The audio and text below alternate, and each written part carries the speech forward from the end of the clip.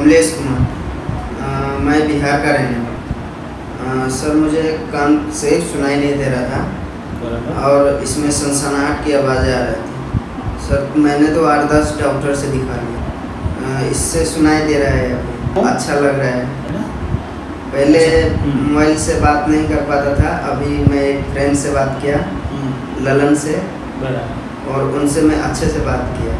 आवाज़ आ रही हाँ सर उनको हम यही संदेश दे रहे देंगे कि ये डेफ केयर सेंटर पे आइए और आ, पहले देखिए इलाज करवाइए ट्रीटमेंट करवाइए अच्छा है यहाँ पे हो रहा है और मुझे सुनाई दे रहा है।